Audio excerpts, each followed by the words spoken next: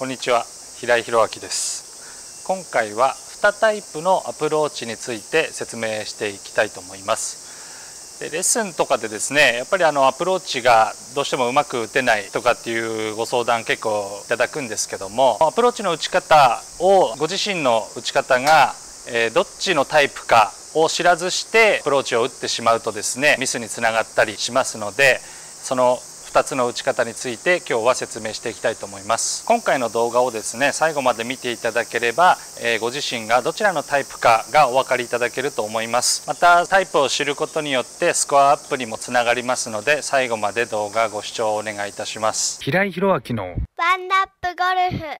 えー、今回のポイントはですねクラブを出すか出さないかということなんですが、えー、どういうことかというと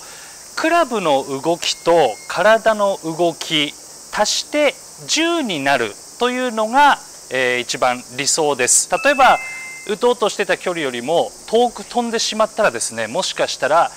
クラブの動きと体の動きが足して10以上になってる可能性があります。それの逆ですね。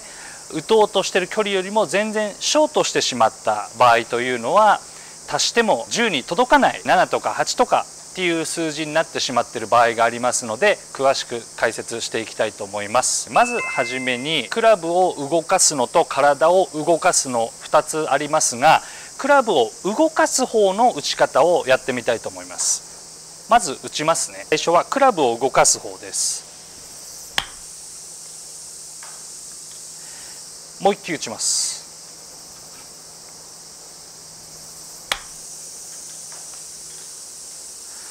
今の2球がクラブを動かしている。割合で言いますとクラブの動きが7体の回転が3足して10という、えー、今のアプローチの打ち方。今度は逆にしてみましょう。クラブの動きを3体の動きを7足して10で打ってみます。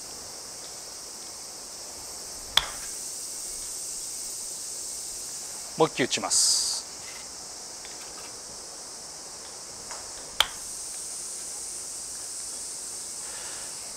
と見はですね判断がつきづらいと思います。打ってる本人はすごく今のは体を動かして打ってる。さっきの2球は、えー、すごくクラブを使って動かしてるという意識はすごくあります。ただ、えーと、すごくスイングの一連の動作の中でそれを自分で決めて動いてるのでなかなか見た目でパッとああの人クラブが動いてる体が動いてるっていうのは判断しづらいと思いますが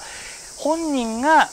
そういうふうにやるクラブを動かす体を動かすと決めて打つということがすごく大事になってきます。なので打つ前に必ず自分がクラブを動かした方が打ちやすいのか体をターンさせて動かしてあげた方が打ちやすいのかを決めて打っていただいた方がいいと思います。でさらに詳しく打ち方をえー、説明していきたいと思います。まずクラブを動かす方の打ち方ですが体の回転がほとんどアドレスから動きません。その分クラブを動かしてあげるというのがメインの動きになります。まずアドレスを取っていただいてクラブだけバックスイングを取る形になります。要はもう腕とクラブですよね。腕とクラブでバックスイングを取ってその取ったバックスイングからフォロースルーまで今度は体のほんのちょっとの回転パブの動きでフォロースルーを取ってあげる。これがクラブを動かす方の打ち方になります。例えばこれでミスショットを打ってみます。クラブの動きと体の動きをすごく増して打ってみます、えっと、割合で言うとクラブの動き8体の動き8で打ってみます、えターゲットはあそこの白い旗に向かって打ちます。キャリーがピンに行ってしまってそこからオーバーするという形になります。これコースでもよく見ますがターゲットよりも思ったより飛んでしまった場合。ああいうのがいいミスショットの例なんですが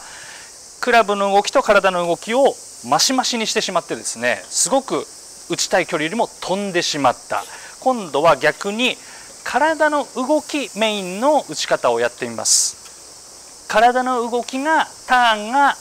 7割ぐらい。クラブの動きがほんのちょっと3割ぐらいですね。これでちょっと打ってみます。そうするとピン手前34ヤードぐらいに落ちてちょうどピンの辺りに、まあ、ボールが止まる。というぐらいの、ま、距離感なんですがこれを今度打ち方を説明しますと今のは先ほどと逆でクラブの動きがすごくちっちゃいんです。クラブだけで動かすと。そこに体の回転を大きく加えてあげるので先ほどと同じクラブの運動量になるので距離が変わらないです。今度はですね逆に飛ばなかった打ちたい距離よりも常にショートしてしまうミスが多い。ミスショットをちょっと打ってみますがクラブがちょっとしか動かない。プラス体の回転もちょっとしか動かない。もちろん飛ばないですよね。なのでこれも足して10になっていません。必ずクラブの動きと体の動きを足して10にしてあげること。それ以上でもそれ以下でもよくありませんので自分がクラブを動かすアプローチのタイプなのか体を回転させて打つアプローチのタイプなのか。それを知ることがまずアプローチの上達への第一歩だと思います。それでですね、え、コースで、え、常にターゲットよりもオーバーしてしまう方というのはクラブの動きもしくは体の回転がどちらかがもちろん多く使ってしまっているので割合を落とさなきゃいけないんです。その時に単純にクラブをのスピードを落としてみる。もしくは、えーと、体の回転を落とすんですけども両方やってみる方がいいです。それは得意不得意につながりますのでそれを知るという面でもすごくいいことです。例えばターゲットに対して今10ヤードぐらいオーバーしました。ってことはクラブの動きか体の回転どちらかがオーバーしてるんです。自分ではどちらがオーバーしてるかわからないという方はですねまずクラブの動きを抑えます。単純に同じ自分が力感で打っても今みたいに距離が勝手に10ヤード落ちます。クラブの動きを落としただけでもちろん距離が落ちますので僕自身はクラブを動かすタイプなので今みたいにクラブをの動きを抑えてあげると距離が勝手に落ちます。クラブの動きを主体で打ってる方っていうのは体の回転数を落としたりするともうこうなっちゃいます。要はもう何て言うんですかねクラブだけ動いてるっていう状態になりますので体の回転数は変えないでください。クラブを動かす方はクラブの動く度合いだけを落とします。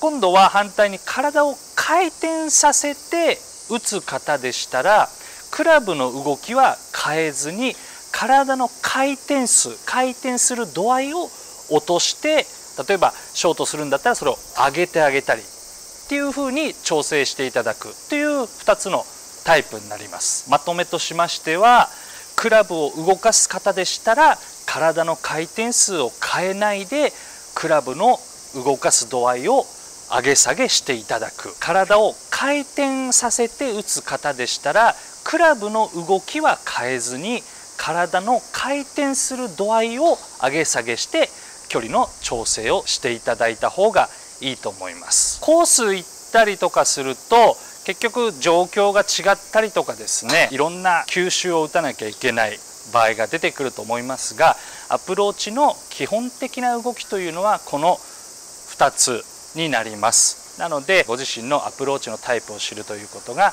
大事になってくると思います。今回の動画は以上になりますので最後までご視聴ありがとうございました。それではですね今回も、えー、楽しみのうんちくコーナーです。コーヒーの色は真っ赤です。ありがとうございます。クラブ5体5だったら